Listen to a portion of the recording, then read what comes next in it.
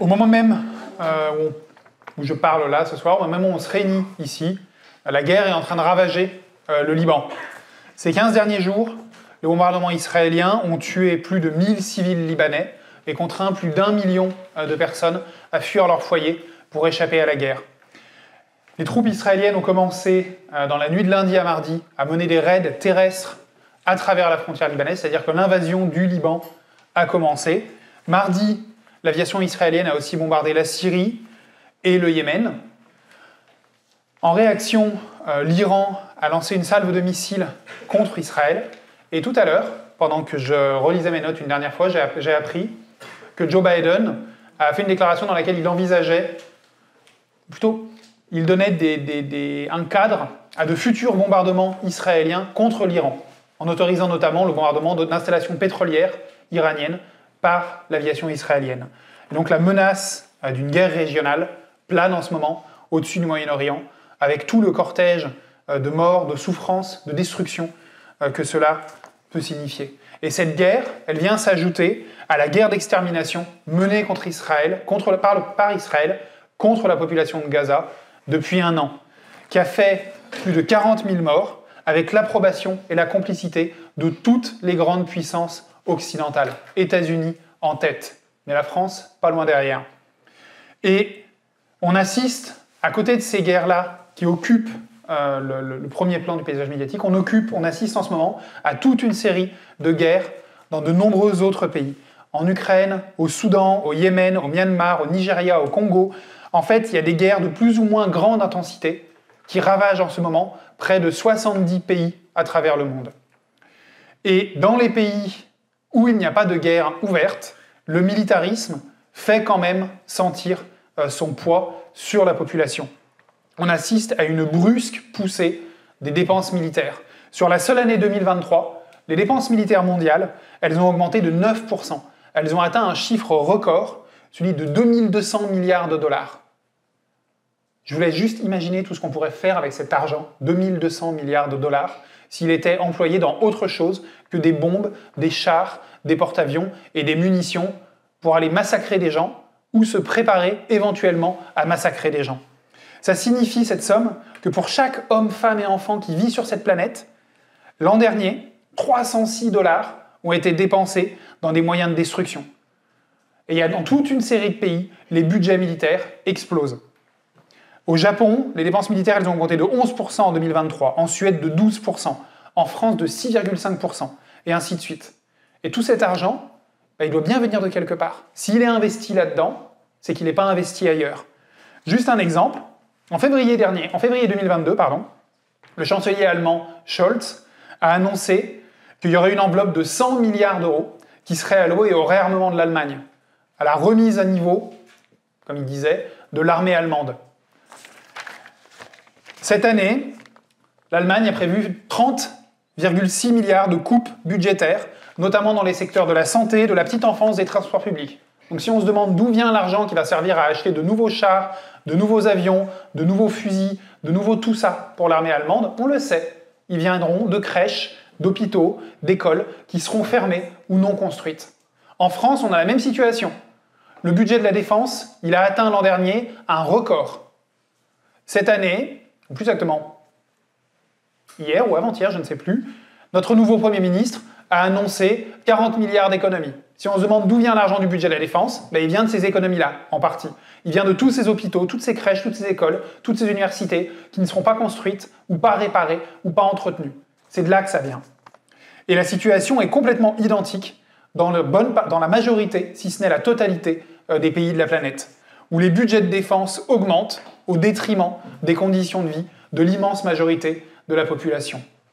Et cette situation, les souffrances inimaginables causées par les guerres, les destructions, mais aussi le poids de toutes ces sommes faramineuses qui sont dépensées dans l'armement, dans les dépenses militaires, y provoquent bah, une répulsion légitime. De plus en plus de gens à travers le monde se demandent comment est-ce qu'on peut mettre fin à ces horreurs. Comment est-ce qu'on peut mettre fin aux guerres? Comment est-ce qu'on peut mettre fin à toutes ces dépenses inutiles? Et pour y répondre à cette question, pour, répondre, pour savoir comment mettre fin aux guerres, comment mettre fin au militarisme, il faut d'abord commencer par en comprendre les sources, par comprendre d'où viennent ces processus. Qu'est-ce qui fait qu'il y a des guerres? Et contrairement à ce que prétendent les propagandistes de la bourgeoisie, euh, les guerres, elles ne sont pas causées par la nature humaine, pour commencer. Vous savez, cette idée, vous avez peut-être déjà entendu cette formule l'homme est un loup pour l'homme, on est tous méchants, heureusement il y a des lois, heureusement il y a un cadre, sinon euh, les gens ils s'entretuent naturellement, ils s'égorgent mutuellement, c'est un instinct primaire. Et donc c'est pour ça qu'il y a des guerres, voyez-vous, l'être humain est un animal méchant. En fait, c'est pas ça. C'est pas non plus, contrairement à ce que prétend la bourgeoisie régulièrement, à cause de grands principes. Par exemple, en Ukraine, les Occidentaux prétendaient que la guerre en Ukraine, il fallait la faire, il fallait envoyer des armes à Kiev, il fallait mener des sanctions économiques contre la Russie pour défendre la démocratie, pour défendre les valeurs européennes, pour défendre la souveraineté nationale, pour défendre tous ces grands principes. Une simple comparaison avec la situation actuelle à Gaza et au Liban montre toute l'hypocrisie, toute la vacuité de ces arguments. Parce que c'est difficile d'imaginer une agression plus caractérisée, plus évidente que celle qui est en train de subir le Liban aujourd'hui. Mais pour Joe Biden, c'est un acte de justice. Pour Emmanuel Macron, la solution est simple. Il faut que les Libanais se plient aux quatre volontés de Netanyahou, désarment le Hezbollah, acceptent de faire tout ce que Netanyahou voudra, et à ce moment-là, on pourra arrêter la guerre. Donc c'est-à-dire que, en pratique, personne ne parle de sanctions économiques contre Israël et d'envoi d'armes au Liban pour l'aider à se défendre contre ce qui est pourtant une violation manifeste de sa souveraineté nationale, qui paraît-il est un principe intangible. Non, non, non. Là, en l'occurrence, l'argent et les armes affluent pour soutenir l'agresseur, pour soutenir Israël. Venant des États-Unis, venant de France, venant de toute une série de pays, l'argent, les armes, le soutien aident l'agression caractérisée. Et donc, c'est pas pour ces raisons-là, c'est pas pour les grands principes, c'est pas à cause de la nature humaine que les guerres elles sont menées. Un théoricien militaire prussien, euh, Karl von Clausewitz, il a écrit au XIXe siècle que la guerre, c'est le prolongement de la politique par d'autres moyens. Et cette phrase, Clausewitz, n'est pas un marxiste, mais cette phrase, elle est parfaitement correcte. La guerre, elle n'est pas distincte de la politique. Plus exactement, les guerres actuelles du capitalisme, c'est le prolongement de la politique du capitalisme en temps de paix.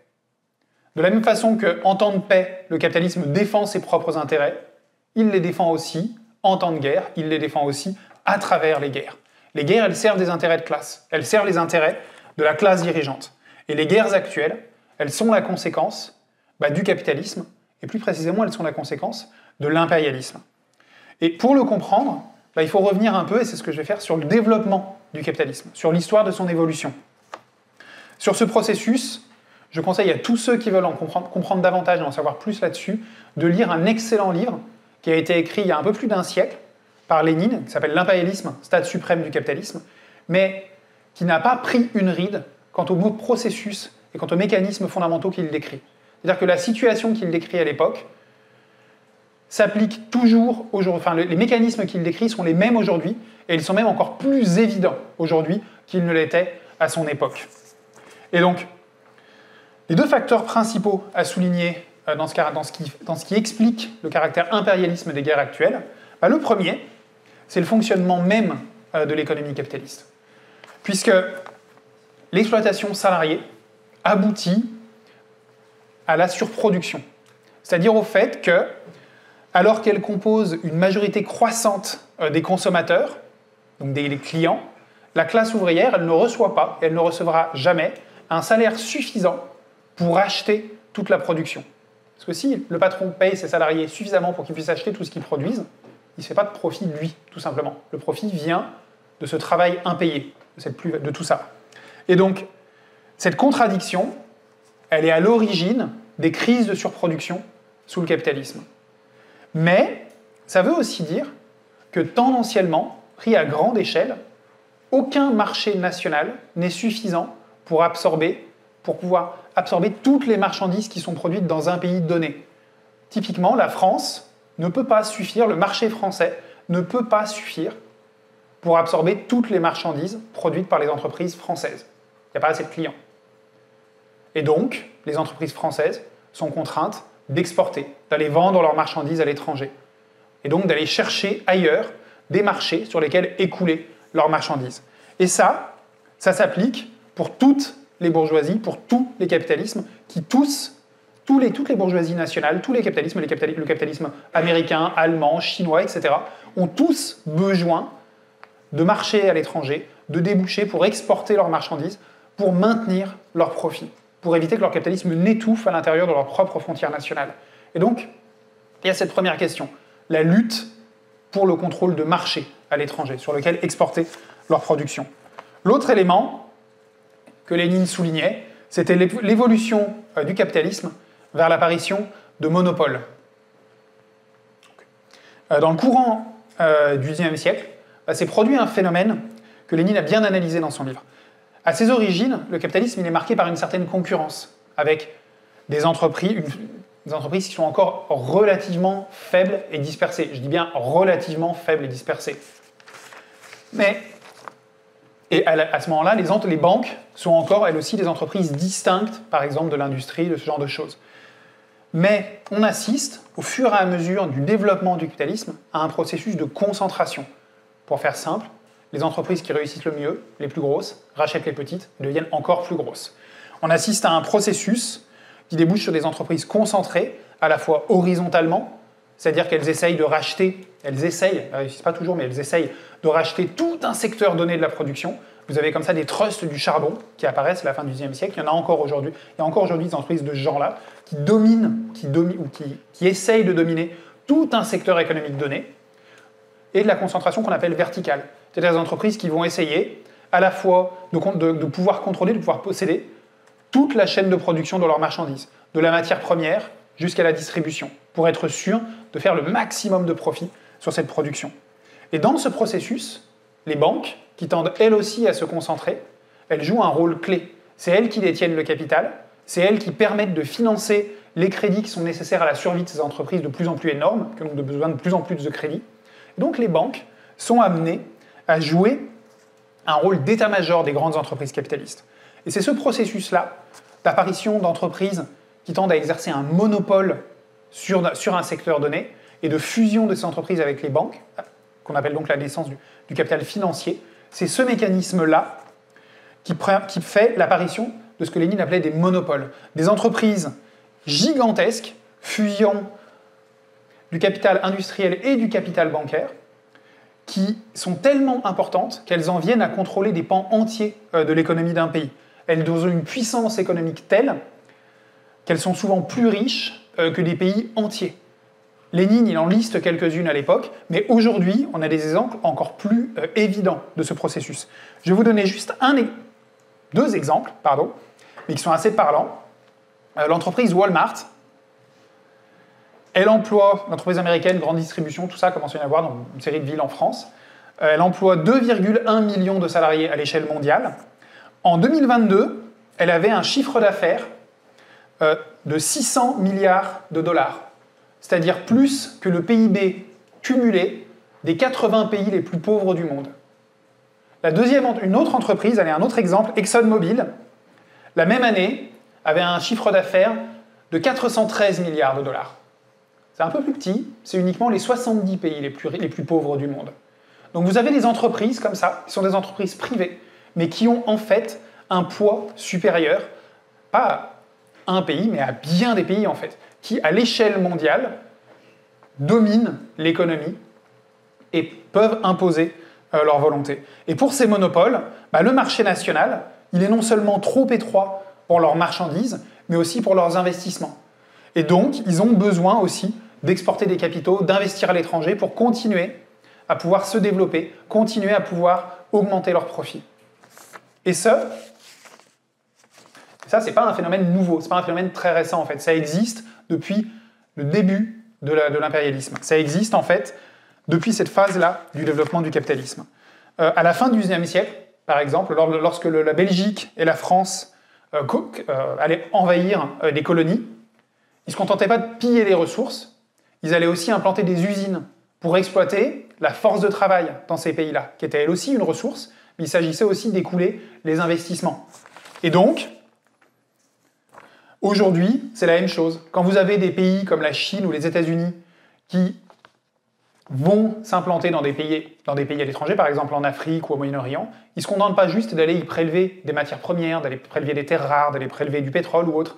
Ils vont aussi y implanter des infrastructures, euh, des entreprises, des usines, pour aller investir leurs capitaux et pour aller assurer des voies de distribution, des voies d'approvisionnement, des, des voies par lesquelles leurs marchandises pourront être vendues. Et donc, là encore, il s'agit d'aller trouver des marchés, des débouchés, pour faire tourner les profits de la classe dirigeante. Par le même processus, eh ben, ce nouveau capital financier, il fusionne aussi, dans ce même temps, avec l'appareil d'État. Vous avez ce moment, vous avez cette situation où vous avez les ministres, les dirigeants politiques qui sont qui sont de plus en plus difficilement discernables du personnel politique. Vous avez des, des, des, enfin, pardon, du personnel, des dirigeants des grandes entreprises, pardon. Vous avez des gens qui font la navette entre la haute fonction publique, tel ministère, puis telle grande entreprise, puis qui retournent dans le conseil d'administration d'une entreprise, d'une entreprise pétrolière, puis qui redeviennent ministres, etc., qui font une navette permanente en fait. Et c'est le même personnel, et on assiste à une fusion entre la direction des grandes entreprises et la direction politique euh, de l'État. Et la concentration économique, elle donne aussi au monopole une influence énorme sur l'État. Avec la force de frappe économique dont ils disposent, ils peuvent faire pression sur les gouvernements, sur l'État, pour imposer que ceux-ci vont défendre leurs intérêts, vont prendre en compte leurs intérêts dans leur politique. Cette évolution, ce n'est pas un hasard, parce que justement, dans, cette compétition pour la conquête de nouveaux marchés à l'étranger, eh ben, la bourgeoisie a besoin de l'État. Elle a besoin des gouvernements.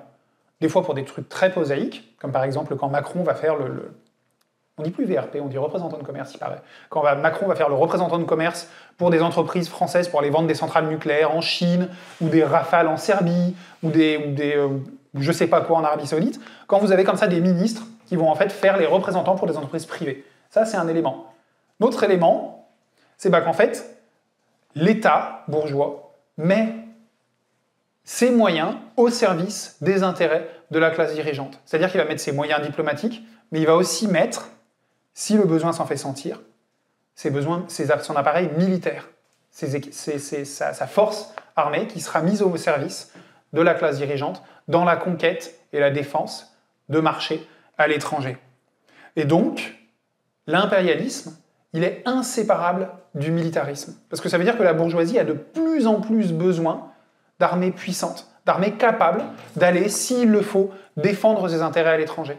Et c'est pour ça qu'on assiste à une augmentation aussi massive des budgets militaires, à une augmentation aussi massive des dépenses, des armées de plus en plus grosses, qu'il y a cette question qui revient de plus en plus de pays de rétablir la conscription, de remettre le service militaire, d'augmenter euh, la production, d'avoir une, production, une production d'armement nationale pour pas avoir à défendre, à dépendre d'autres pays impérialistes. C'est pour ça que le militarisme devient de plus en plus important au sein du capitalisme, parce qu'il s'agit pour la bourgeoisie de défendre ses intérêts par la force si nécessaire à l'échelle internationale.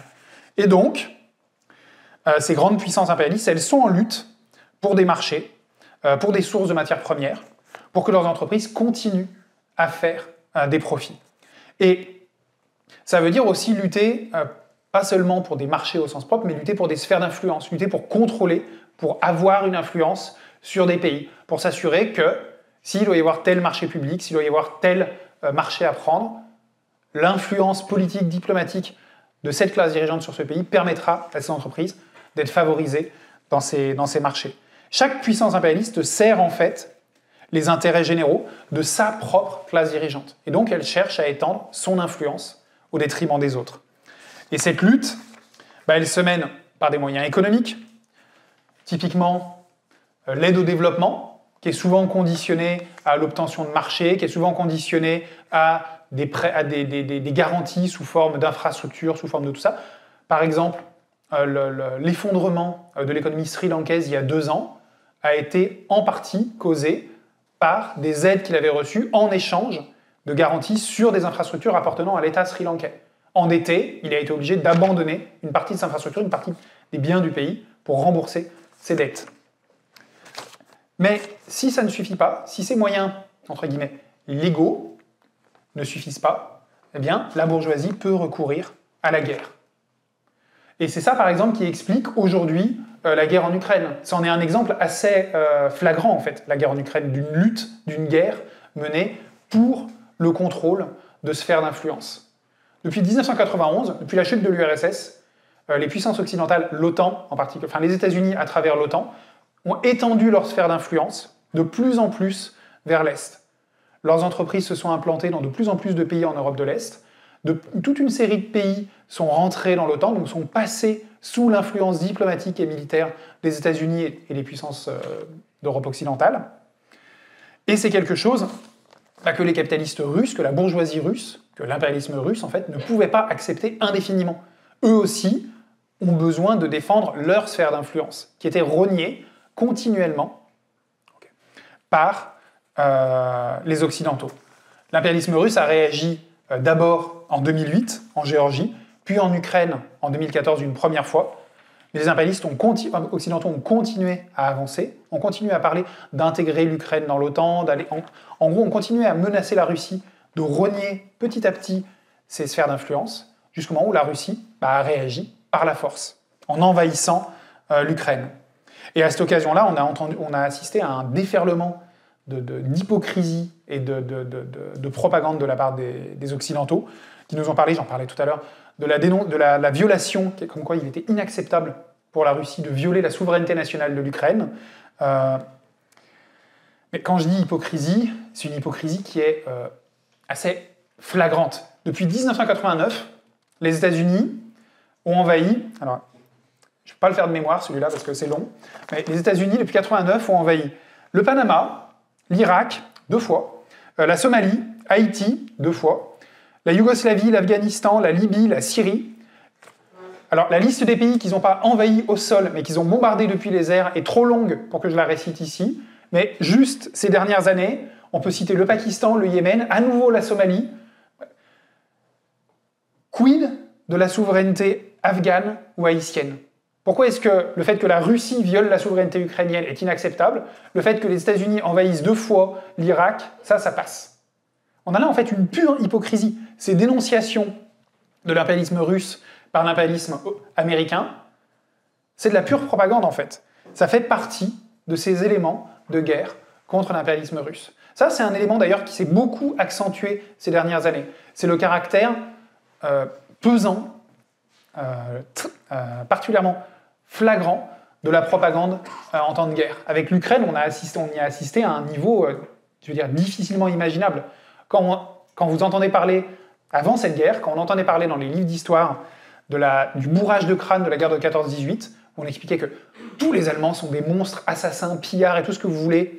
Et heureusement, tous les soldats français sont des héros, des, libérateurs du peuple, tout ce que vous voulez. Quand vous lisez dans les livres d'histoire qu'à l'époque il y avait ça dans les journaux, vous dites quand même c'est gros. Puis bah, vous ouvrez le Figaro, vous ouvrez LCI, vous, enfin, vous allumez la télé, vous regardez LCI, et vous dites Ah ouais, en fait, ils étaient modérés en 14-18. Parce qu'en fait, la propagande aujourd'hui est devenue du même niveau. Pourquoi? Bah, Parce que la bourgeoisie, c'est pas une question secondaire pour elle qui se joue dans les guerres. C'est une question extrêmement importante. C'est la défense de ses intérêts. C'est la défense de ses intérêts, de ses profits à l'échelle internationale. Et donc, eh ben, elle va les défendre par n'importe quel moyen. Et elle va les défendre, y compris par le mensonge, par la propagande, par l'invention pure, s'il le faut, pour convaincre de la légitimité euh, de ces guerres. Et je disais que cette propagande, elle s'accentue, et elle devient, elle devient de plus en plus euh, flagrante, mais on assiste aussi ces dernières années à une multiplication euh, des guerres à travers le monde. Je listais tout à l'heure 70 pays en guerre. Il n'y avait pas autant de guerres dans le monde il y a une dizaine d'années ou une quinzaine d'années. Comment ça se fait? Bah, en fait, c'est lié là encore au fonctionnement même de l'économie capitaliste. Depuis 2008, il y a eu l'éclatement de la crise euh, économique mondiale de 2008, et depuis 2008, on n'en est pas sorti. Le, capitalisme est toujours plongé dans une crise plus ou moins euh, visible, mais on est toujours pris dans les affres de la crise de 2008. Et ce que ça veut dire, c'est que, bah, en période de croissance, en période hors crise, le gâteau, c'est-à-dire en fait le nombre de marchés, les marchés disponibles à l'échelle mondiale, il est assez grand, en tout cas il est relativement assez grand, pour que les puissances impérialistes puissent le partager sans avoir besoin de trop recourir à la guerre. Ça ne veut pas dire qu'il n'y a jamais de guerre hors période de crise. Il y en a. Quand la bourgeoisie a besoin de faire la guerre pour défendre ses intérêts, elle le fait. Par exemple, une bonne partie des guerres dont j'ai parlé tout à l'heure, menée par les États-Unis, les deux invasions d'Haïti, les deux invasions de l'Irak, l'invasion, etc., etc. Je ne vais pas refaire la liste, parce que je me rappelle déjà plus, c'est trop long. toutes ces invasions-là ont été menées en période de croissance. Le truc, c'est que en période de crise, le gâteau, c'est-à-dire les marchés disponibles, se réduisent, sont moins importants. La crise, la baisse des salaires, l'augmentation de la pauvreté, du chômage, etc., fait qu'il y a moins de marchés à aller conquérir à l'étranger. Et donc que la lutte pour le contrôle de ces marchés devient de plus en plus féroce. Parce qu'il y a moins de marchés, mais il y a toujours autant de capitalistes qui veulent faire des profits sur ces marchés. Donc ils ont tendance à se battre de plus en plus pour les, pour les contrôler. C'est ça qui explique bah, la multiplication euh, des guerres aujourd'hui. C'est ça qui explique qu'on assiste à de plus en plus de guerres, à de plus en plus de foyers de tension, à de plus en plus d'affrontements entre puissances. Soit affrontements ouverts, comme c'est le, cas en Ukraine, soit affrontements larvés, menaces, tensions, comme c'est le cas par exemple autour de Taïwan, entre la Chine et les États-Unis. Donc c'est ça qui explique cette multiplication des guerres. C'est la crise profonde dans laquelle est plongé euh, le capitalisme aujourd'hui. Maintenant, il reste poser la question bah, de comment euh, mettre fin aux guerres. Pour commencer, il faut souligner qu'il y a une partie de la gauche euh, qui ne se pose pas vraiment la question. Il y a une partie de la gauche, en fait, qui, en période de guerre, s'aligne sur sa propre bourgeoisie. C'est-à-dire qu'une une partie de la gauche qui, en période de guerre, va tout simplement soutenir son camp, sa bourgeoisie, la sienne, contre celle d'en face. Parce que la nôtre, elle est mieux. La nôtre, comme je le disais tout à l'heure, elle défend les valeurs européennes, elle défend la démocratie, la civilisation, tout ça, là où celle d'en face est barbare, impérialiste, dirigée par des fous, tout ce que vous voulez. C'est-à-dire que vous avez une partie de la gauche qui reprend en fait purement et simplement la propagande de sa bourgeoisie, qui la répète et qui s'aligne pour soutenir sa bourgeoisie dans la lutte entre puissances impérialistes. C'est le cas par exemple dans le cas de la guerre en Ukraine. Vous avez le Parti communiste français ou euh, le NPA qui ont soutenu les sanctions contre la Russie, qui ont soutenu l'envoi d'armes en Ukraine, qui ont soutenu à peu près toutes les initiatives de la bourgeoisie française pour aller faire la guerre, pour aller soutenir la guerre contre la Russie en Ukraine. C'est-à-dire en fait qu'ils soutenaient leur propre impérialisme, auquel ils essayaient de façon détournée de trouver des qualités contre l'impérialisme russe. C'est-à-dire qu'en fait, ils soutenaient l'impérialisme. Ou encore, plus original, la France insoumise, qui en 2023, l'année où le budget de la défense a atteint des records en France, publiait un contre-budget de la défense dans lequel il réclamait encore plus de dépenses militaires, dans lequel il se plaignait que le budget de défense du gouvernement Macron ne prévoyait pas assez de dépenses militaires, ne prévoyait pas assez d'achats de matériel, ne prévoyait pas assez d'avions, de drones, de tout ce que vous voulez, pour défendre les intérêts de la France. C'est-à-dire en pratique, les intérêts de la France à l'étranger c'est-à-dire les intérêts de la classe dirigeante française. C'est-à-dire que là, on avait un parti de gauche qui s'alignait sur les intérêts de sa bourgeoisie au point où il, réclamait du gouvernement qu'elle améliore l'appareil militaire qui permet de défendre ses intérêts à l'échelle internationale. Juste pour vous rassurer, ils envisageaient aussi dans ce contre-budget de la défense qu'une partie de ce matériel militaire soit propulsé par des moteurs électriques ou en tout cas des moteurs non charbonnés, donc c'est la guerre impérialiste, c'est les bombardements, c'est tout ce que vous voulez, mais au moins c'est écologique. En tout cas, il n'y a pas, de, moteur thermique. Je ne sais pas si c'est écologique, mais il n'y a pas de moteur thermique. Mais vous en avez d'autres à gauche qui défendent des positions qui ne sont pas celles-ci, qui ne sont pas vive la guerre tant que c'est ma bourgeoisie qui l'a fait, qui sont les positions, pour faire simple, pacifistes.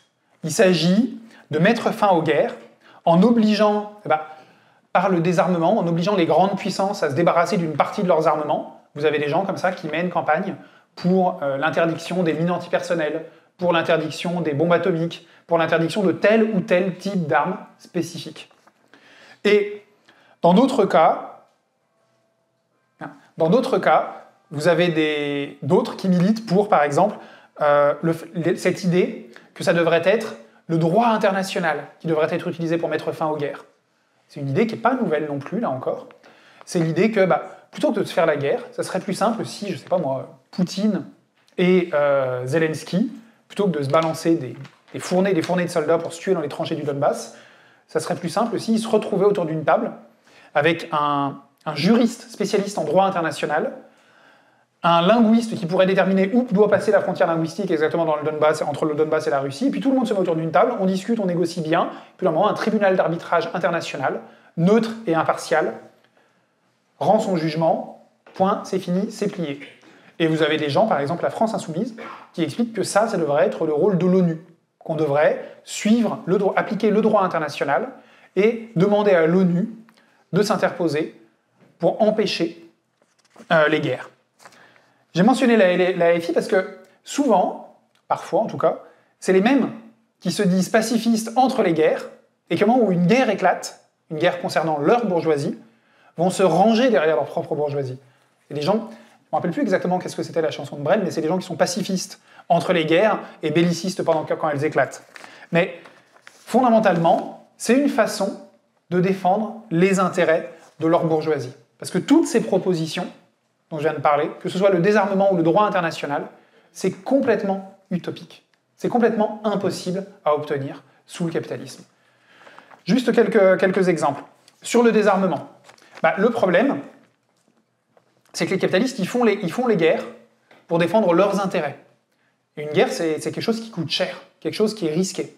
Donc tout ce qui peut leur permettre d'avoir un avantage sur leur ennemi est bon à prendre. Et c'est pour ça bah, que avoir de meilleures armes, plus nombreuses, des armes que l'ennemi n'a pas, ça leur donne un avantage. Ils vont pas s'en priver. C'est pour ça que toutes les tentatives de désarmement par la loi, par des traités internationaux, toutes ont été des échecs. Typiquement, bah, je parlais tout à l'heure des mines antipersonnelles. Il y a un grand traité qui a été signé pour l'interdiction des mines antipersonnelles à l'échelle mondiale. Bah, vous avez toute une série de pays qui ne l'ont pas signé, ou qui ne l'appliquent pas, ou qui continuent, eux, ou qui, eux, n'utilisent pas de mines antipersonnelles, mais qui en produisent et qui les vendent, et qui les vendent à échelle massive. Typiquement, quels sont ces pays? Les États-Unis, la Russie, la Chine, puis des pays un peu plus originaux, dans l'Union européenne, la Finlande. Alors, c'est pas que la Finlande a un impérialisme mondial à défendre, non, par contre, c'est que la Finlande produit beaucoup de mines antipersonnelles. C'est très rentable à exporter comme produit, voyez-vous. Donc, elle ne va pas s'en priver, elle ne va pas arrêter sa production. Parce que la bourgeoisie finlandaise fait beaucoup d'argent avec ça. Autre exemple, euh, les armes chimiques, les gaz asphyxiants, le gaz moutarde, tout ça. Ça a été interdit, la première convention d'interdiction des armes chimiques à l'échelle mondiale date de 1899, 15 ans avant la guerre de 14-18. Les armes, toutes les armes utilisant du poison, des gaz, etc., ont toutes été interdites à la fin du XIXe siècle. Elles ont été utilisées massivement par tous les belligérants pendant la guerre de 14-18, parce que tous les belligérants espéraient qu'elles allaient leur donner un avantage. Et puis ensuite, elles ont été à nouveau interdites en 1925 et en 1978, et elles ont été à nouveau utilisées massivement par le Japon pendant la Deuxième Guerre mondiale, par les États-Unis pendant la guerre du Vietnam, puis à nouveau, encore aujourd'hui, des armes chimiques sont utilisées, alors même qu'elles sont interdites. Typiquement, Israël utilise du phosphore blanc, qui est classé comme arme chimique, il l'utilise pour bombarder Gaza, alors que c'est quelque chose qui est théoriquement interdit depuis la fin des années 70. Mais c'est qu'on ne peut pas empêcher la bourgeoisie d'utiliser tous les moyens qu'elle a à sa disposition pour défendre ses intérêts. Et donc le désarmement par les traités, c'est une utopie. Pour ce qui est du droit international, je vais reprendre l'exemple de l'ONU. L'ONU, aujourd'hui, il ne peut pas euh, mettre fin aux guerres, euh, encore moins aux guerres impérialistes, pour une raison simple, c'est qu'il est dominé par les cinq, sinon les cinq plus importantes, mais en tout cas par cinq importantes puissances impérialistes. Le Conseil de sécurité des Nations Unies, qui peuvent mettre leur veto sur à peu près tout ce que veut faire, ce que pourraient vouloir faire les Nations Unies. Juste un exemple, Israël, l'Assemblée générale des Nations Unies a voté, depuis la création de l'État d'Israël en 1948, plusieurs dizaines de résolutions condamnant l'occupation de la Palestine, condamnant l'invasion des pays voisins d'Israël par l'armée israélienne, des dizaines et des dizaines de résolutions exigeant le retrait des territoires occupés, la fin de l'occupation euh, du, euh, du, plateau du Golan, la fin de l'occupation de ceci, la fin de l'occupation de cela, l'arrêt euh, de la colonisation en Cisjordanie, l'arrêt des arrestations arbitraires de citoyens palestiniens, tout ça, tout ça, voté massivement à une immense majorité par l'Assemblée nationale, par l'Assemblée générale des Nations Unies. Et puis, soit retoqué, soit complètement neutralisé par des vétos du Conseil de sécurité des Nations Unies, c'est-à-dire par des votes de la France, des États-Unis et de la Grande-Bretagne, qui ont dit oui, oui, oui vous êtes gentil, l'Assemblée générale, mais non. Israël est notre allié, défend nos intérêts au Moyen-Orient, donc non, ces résolutions ne s'appliqueront pas.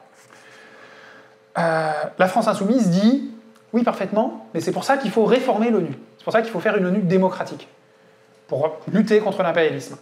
Alors, outre que, quand je dis que c'est utopique, outre que pour réformer l'ONU, bah, ça suppose de passer par l'approbation du Conseil de sécurité des Nations Unies, qui devrait approuver sa propre dissolution, donc approuver qu'il perd son influence. Ça, c'est un premier élément. Le deuxième, c'est que bah, ce qui fait la puissance des États-Unis, ce qui fait la puissance de la France, la puissance relative, très très très relative de l'impérialisme français, mais ce qui fait la puissance de ces, de ces puissances impérialistes-là, c'est pas leur place au Conseil, de au Conseil de sécurité des Nations Unies, c'est leur puissance économique. Si vous enlevez le Conseil, de sécurité des Nations Unies et que vous dites demain à l'Assemblée générale des Nations Unies, un pays égale une voix, eh ben, les États-Unis, les grandes puissances, la Chine, etc., continueront à dominer l'Assemblée générale parce que bah, dans la vie réelle, dans l'économie capitaliste réelle, bah, il n'y a pas d'égalité entre les États-Unis et la Somalie. Vous pouvez leur donner un, vote égal à l'Assemblée générale des Nations unies. Il n'empêche que quand les États-Unis disent à la Somalie Tu fais ce qu'on te dit, sinon on te coupe l'aide économique, et si tu continues, on t'envahit, bah, la Somalie n'a pas vraiment de moyens de s'y opposer. Donc en fait, vous pouvez rendre l'ONU aussi démocratique, formellement démocratique que possible, elle restera irrémédiablement dominée par les puissances impérialistes. Et les réformistes, enfin les, gens qui, donnent qui défendent ces positions-là, bah, en fait c'est du réformisme appliqué à l'échelle internationale. C'est l'idée qu'en fait on peut améliorer le système capitaliste sans avoir à le renverser. Qu'on peut graduellement, par la voie de réformes marginales, améliorer le système petit à petit jusqu'à le rendre acceptable. Et en fait, ces gens-là, ils ils ne comprennent pas, ou ils font semblant de ne pas comprendre, quel est le véritable rôle de ces institutions internationales. Le rôle de l'ONU, le rôle des de toutes les institutions internationales. Qu'est-ce que c'est leur rôle? Bah, C'est que c'est un cadre de négociation pour les grandes puissances impérialistes. Lénine disait de l'ancêtre de l'ONU, la Société des Nations, que c'était une cuisine de brigands. C'est-à-dire, je ne sais pas si vous avez déjà vu euh, les tontons flingueurs quand ils sont tous autour de la table avec l'alcool et qui se disputent sur euh, les recettes du, je ne sais plus quel braquage. Bah, c'est un peu ça l'ONU, avec Joe Biden, Xi Jinping, Poutine, etc. C'est un endroit où les grandes puissances, où les représentants des grandes puissances impérialistes viennent pour se mettre d'accord, pour essayer de se mettre d'accord sur la répartition des marchés entre elles à l'échelle mondiale. Quand elles y arrivent, quand elles arrivent à se trouver des intérêts communs, eh ben, généralement, c'est pas pour le, pour, le, pour le mieux. Typiquement, euh, ça leur sert à organiser en commun l'écrasement bah, des contestations de l'impérialisme. Un bon exemple de cela, c'est ce qui est arrivé à Haïti. Je parlais tout à l'heure des invasions d'Haïti par les États-Unis. Une de ces invasions s'est faite sous mandat de l'ONU, approuvée par le Conseil de sécurité, avec l'approbation de l'Assemblée générale de tout ce que vous voulez. Le Haïti a été envahi par l'armée américaine, puis soumise à une occupation militaire de 13 ans, si je ne m'abuse, par des casques bleus, qui ont mené une véritable, des casques bleus qui sont censés être, qu'on présente comme les, gardiens de la paix à l'échelle internationale, qui en pratique ont mené une véritable guerre coloniale contre le peuple haïtien, avec des, raids dans les bidonvilles, des arrestations arbitraires, des tortures, des, tirs à balles réelles sur des manifestations, tout ça mené sous mandat de l'ONU. Pourquoi?